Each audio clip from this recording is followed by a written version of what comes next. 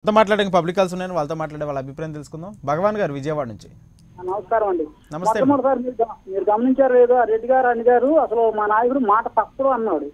అసలు ఆ మాట తప్పడంలో నెంబర్ వన్ అవార్డు ఇవ్వచ్చు ఆయనకి. ఎన్ని వరదలు వచ్చి మూడు నెలల మటు కొట్టుకుపోయాం మూడు సంవత్సరాల మటు మా విజయవాడ సమీపంలో. అక్కడ పట్టించుకున్న వాళ్ళు లేదండి ఇక్కడ. విజయవాడ సంక్షేమ పథకాలు ఇవేమి ఏ ఇచ్చావయ్యా ప్రాంతం చెప్పండి మీది? మీ ఎంఆర్ఓ చెప్పండి సర్కిల్ ఎక్కడ మీది? భగవాన్ గారు ఎక్కడ? ఏ ప్రాంతంలో? ఏ ప్రాంతం చెప్పండి? జీ కొండూరు మండలం శ్రీకొండూరు ఎక్కడ చెప్పండి మీది? మీ ఎక్కడ? పత్తికి రాయమంటే పత్తి లేదన్నారు మాకు. వరి లేదన్నారు పోయి రెండు నెలల కూడా. వరికి మీరు లేదు చెప్పండి పంట నష్టపోయిందా? ప్రభుత్వం దృష్టి తీసుకొచ్చారా? మీరు రికార్డ్ చేశారా మీది? ఆర్బీఐ రికార్డ్ చేశారా మీది? మీరు నష్టపోయిన ప్రాంతాన్ని?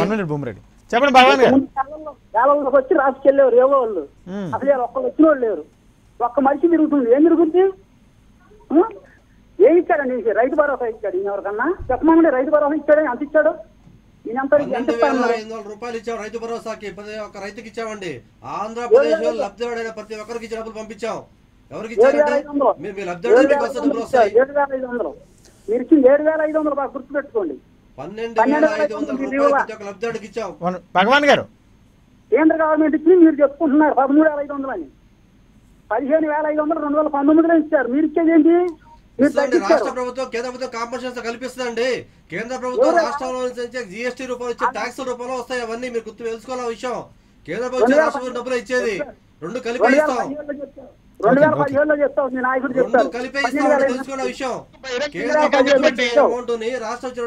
వన్ మినిట్ గారు. One minute.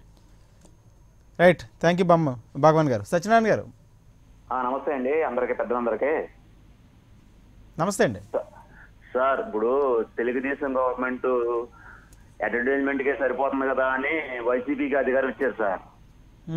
వైసీపీ కూడా ఏం చేయలేదు పంచి పెడుతుంది తప్ప డెవలప్మెంట్ ఏం చేయలేకపోతుంది. జనాలు తిట్టుకున్నారు సార్ రోడ్ల గురించి.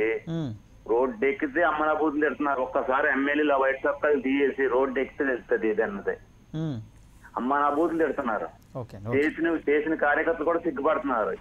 పంచి పెడతాం లాంటి డెవలప్మెంట్ చూడండి అంటున్నారు. అది చూడండి సార్. ఓకే. మరో కాల్ ఉన్నారు శంషిద్ గారు హైదరాబాద్ నుంచి. శంషిద్ గారు నమస్తే. రైట్ కాల్ కట్టిందండి భూమిరెడ్డి గారు. సార్ ఇందాక రైతుల గురించి మాడాల్సి వస్తే కాలాస్ అందరూ మాడుతా ఉన్నారు. రెండు వేల పద్నాలుగు నుంచి రెండు వేల పంతొమ్మిది వరకు రాష్ట్రం చంద్రబాబు నాయుడు గారు మూడు వేల కోట్ల మూడు వేల కోట్ల రూపాయల పంటలు మాత్రం ఆయన కొంటే మా ప్రభుత్వం ఏర్పడిన తర్వాత గత ఒక సంవత్సరంలో అండి. రెండు వేల పంతొమ్మిది ఇరవై సంవత్సరం సంబంధించేసి మూడు వేల నూట పంతొమ్మిది కోట్ల విలువైన ఎనిమిది లక్షల డెబ్బై ఐదు వేల టన్నుల పంటలు ఈ రోజు రాష్ట్ర ప్రభుత్వం కొనడం జరిగింది. ఈ రోజు మా ప్రభుత్వం ఒక సంవత్సరంలో మూడు వేల నూట పంతొమ్మిది మూడు వేల నూట పంతొమ్మిది కోట్ల రూపాయలతో వెచ్చించేసి దగ్గరగా ఎనిమిది లక్షల డెబ్బై టన్నులు పంటలను కొంటే మా ప్రభుత్వం కొంటే మరి ఐదు సంవత్సరాల కాలం చంద్రబాబు నాయుడు కొనింది అండి ఆయన కొనింది మూడు వేల కోట్ల రూపాయలు మాత్రమే. మరి మా ప్రభుత్వం చిత్తశుద్ధి ఉందా? మరి తెలుగుదేశం పార్టీ చిత్తశుద్ధి ఉందా? ఈరోజు రా- ప్రజలు ఆలోచించాల్సిన అవసరం ఉందండి. ఈరోజు రాష్ట్ర ప్రభుత్వం రైతుల పక్షాన పనిచేస్తుంది. రాబోయే రోజుల్లో రైతు బాగుంటే రాజ్యం బాగుంటుంది. రైతు బాగుండే కొత్త విషయంతో ఈరోజు ఆంధ్రప్రదేశ్ అనేకమైన కార్యక్రమం ముందు తీసుకెళ్తా ఉంది. దానికి అనుకూలంగా ఈరోజు ఆర్బీకే సెంటర్స్ తీసుకొచ్చాం. ఆర్బీకే సెంటర్ల ద్వారా మేము చేస్తుంది ఏంటండి? రైతులు ఏ కాలంలో ఏ పంటలు వేయాలి? వేసిన పంటలకు మద్దతు ధర ఎలా ఉంటుంది? ఏ పంటలు పండించాలి? ఒకవేళ రైతులు నష్టపోతే ఏ పంట నష్టపోయింది? అనేది ఒక అంచనా వేసేసి ఆర్బీకే సెంటర్స్ ద్వారా ఈ రోజు ప్రభుత్వం ఒక- ఇటు పోలవరం పోలవరానికి సంబంధించి ఎత్తు తగ్గించడం ద్వారా తెలంగాణతో లబ్ధి చేకూర్చడానికి ఈ ఎత్తు అనే విషయాన్ని వైసీపీ ప్రభుత్వం తెలియకుండా అయితే ఏదైతే నలభై ఐదు పాయింట్ ఒక మీటర్లు ఎత్తు ఉందో దాన్ని నలభై ఒకటి పాయింట్ ఒకటి ఐదు మీటర్లుగా తగ్గిస్తుంది. ఇది ప్రధాన ఆరోపణ. సార్ ఈ రోజు రాజకీయ మనుగడ కోల్పోయేటువంటి ఉన్న ప్రతిపక్షాలన్నీ కూడా ఈ రోజు వారికి ఏదో ఒక రాజకీయ వృత్తి కావాలి. రాజకీయ వృత్తి కోసం వాళ్ళకి ఏదో ఒక మాట మాడాలి కాబట్టి ఈరోజు మీడియా ముందుకు వచ్చేసి ఈరోజు మాడుతా ఉన్నాయి. రాష్ట్రంలో రెండు percent vote bank Janasena party మమ్మల్ని విమర్శిస్తుందంటే ప్రజలు సిగ్గుపడాల్సిన అవసరం ఉంది. ఈరోజు తెలుగుదేశం పార్టీ నాయకులు రాష్ట్రాన్ని నిలబడి పారిపోయిన చంద్రబాబు నాయుడు గారు ఈరోజు రాష్ట్ర రాజకీయాల గురించి మాట్లాడుతున్నారంటే ప్రజలు సిగ్గుపడుతున్నారు. ప్రతిపక్షమైన రాష్ట్రంలో ఒకటి ఉందా అని చెప్పేసి ఈరోజు ఇటువంటి నాయకులు గురించి, పక్కన వారి అవగాహన ప్రభుత్వం? చెప్పొచ్చండి. పోలవరం విషయంలో ఎత్తు విషయంలో క్లారిటీగా ఉందా? సార్ ఈరోజు పోలవరం విషయంలో ఎక్కడ ఒక ఇంచు కూడా ఎత్తు తగ్గించం అని చెప్పేసి ముఖ్యమంత్రి సాక్షాత్ చెప్పడం జరిగింది. ముఖ్యమంత్రి గారి ముఖ్యమంత్రి గారి మాట నిదర్శనం ఉందా? లేకపోతే ప్రతిపక్షాల మాట మాట నిదర్శనం ఉంటుందా? ఈరోజు రాష్ట్ర ప్రభుత్వం ఏదైతే మా ఇరిగేషన్ మినిస్టర్ అనిల్ కుమార్ యాదవ్ గారు ఇద్దరు చెప్పడం జరిగింది.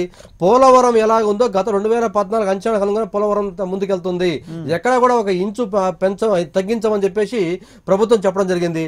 మరి ఈరోజు ప్రతిపక్షాలన్నీ కూడా మరి ఊహాగానాలతోటి కల్పిత పాత్రలతోటి ఈరోజు వారు నచ్చిన ఛానల్స్ లో వేసుకుంటూ వారు నచ్చినట్టు మాడుతా ఉన్నారు. ఈరోజు ప్రభుత్వం అధికారికంగా ఎక్కడైనా ప్రకటించిందా? పోలవరం ఎత్తు తగ్గిస్తామని చెప్పేసి కేంద్ర ప్రభుత్వం ఎక్కడ డిక్లేర్ చేసిందా? పోలవరం తగ్గిస్తారని చెప్పేసి పోలవరం రెండు వేల పద్నాలుగు అంచనాలకు అనుకూలంగా ఆ రోజు ఉన్న తెలుగుదేశం పార్టీ ఆ అంచనాలకు అనుగుణ డబ్బులు ఇవ్వమంటే మా ప్రభుత్వం ఏర్పడిన తర్వాత దానికి కాదు మీరు కొత్త రెండు వేల పదిహేడు అంచనాలకు అనుకూలంగా ఈరోజు డబ్బులు ఇవ్వమని చెప్పేసి పోలవరానికి క్యాష్ ఇవ్వమని చెప్పేసి మా ప్రభుత్వం ఒత్తిడి తీసుకొస్తే దానికి షెకావత్ గారు దాన్ని సమ్మతించేసి ఈరోజు ఆ విధంగా ఫండ్స్ రిలీజ్ చేసేటువంటి కార్యక్రమం జరుగుతూ ఉంది.